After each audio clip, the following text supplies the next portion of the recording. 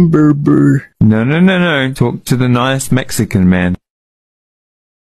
Hamburger. Eh, eh, no, no, disculpa, no, no, no hablo inglés, no, no English. Hamburger! Cheese or no cheese.